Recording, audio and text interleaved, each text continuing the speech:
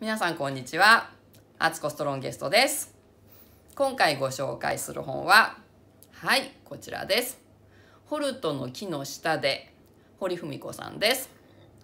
でですねこの本何かのきっかけで知ってですね読んだんですね。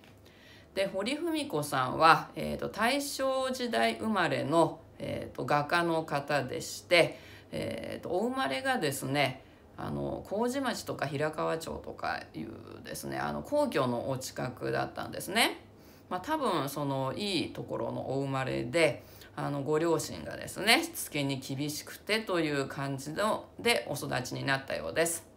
でまあそれに対してですねいろいろ反抗はあったんですけれどもちょっとですねお父様が常々言っていた素晴らしい言葉というのが私も心に残り残ってますのでちょっと読みますね。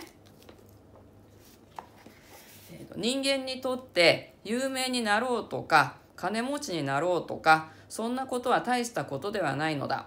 うどん屋でも団子屋でもこの仕事にかけては誰にも負けない。私以外にいない。という気概を身につけなさい。まあこのようなですねお父様に育てられたのですからまあもう本当に素晴らしい人物になるという感じですね。でまあその時代の女の人にという割にはですねいろいろ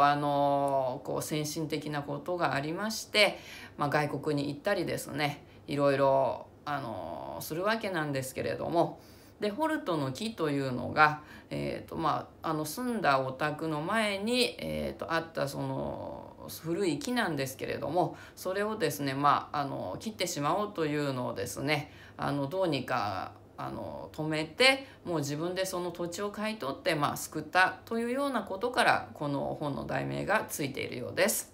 本当にですねあのいろいろあの感動する本ですので皆様にも是非読んでいただきたいと思います。はい今回もご覧いただきましてありがとうございました。またですねこのような興味深い本がありましたらこちらでご紹介していきたいと思いますので次回もまた是非見ていただけると嬉しいです。よろしくお願いします。